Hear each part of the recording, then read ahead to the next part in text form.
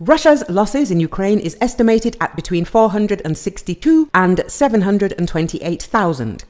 Russia has not reported the number of its soldiers killed or wounded since it launched a full-scale invasion of Ukraine in 2022. At the same time, according to The Economist, the level of Russian casualties has already exceeded the number of casualties in all of Russia's wars since World War II. Thus, according to Russian publications Mediazona and Meduza, the death toll in Russia has exceeded 100,000 people and by June the 21st was 106,000 to 140,000 people. Much of their analysis is based on probate records and obituaries on social media and other publications. These figures are broadly consistent with other recent sources. Officials in France recently put the total at 150,000 by May, while BBC Russia estimates that at least 113,000 Russians had died by June. The Economist writes.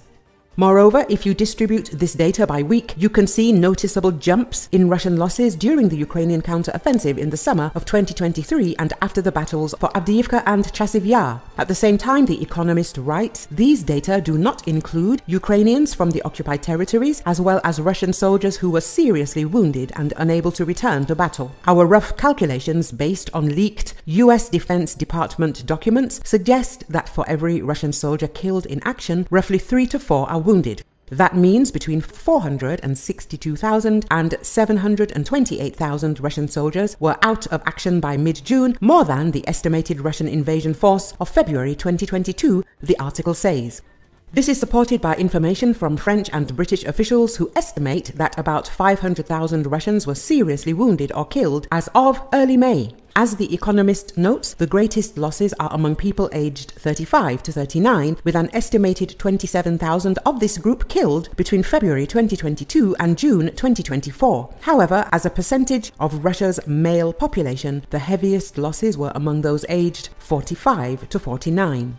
According to the latest estimates, about 2% of all Russian men aged 20 to 50 have been killed or seriously wounded in Ukraine since the start of the full-scale war. Russia's losses in Ukraine since 2022 exceed the number of victims of all its wars since World War II combined, the publication writes. According to Ukrainian expert Taras Zhovtenko, Russia's losses in Ukraine at the current level are unlikely to convince the Russian military leadership to stop military operations. According to him, if the level of Russian casualties per day increases from 1,000 to 3,000 and is maintained at this level for three months, this could create tension in the Russian power vertical.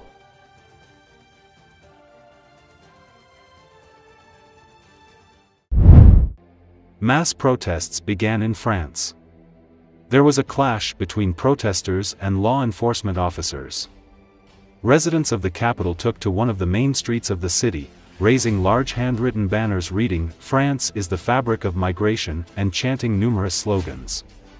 As the final polls closed in the most momentous election in recent memory, hundreds of people milled about, waiting to find out what would lie in store for France. In a shock win, Final results left the broad left-wing alliance as the biggest force in the French parliament, with the new Popular Front taking 182 seats. Emmanuel Macron's centrist grouping, Ensemble, was in second place, with 163 seats, a stronger showing than expected. Marine Le Pen's far-right, anti-immigration National Rally came third with 143 seats. Voter turnout in the first round was high, nearly 68%, compared with 47.5% in the 2022 parliamentary elections. Riots, clashes, and looting broke out across France as left-wing supporters flooded the streets to celebrate the new Popular Front coalition's victory over the right-wing National Rally and President Emmanuel Macron's centrists.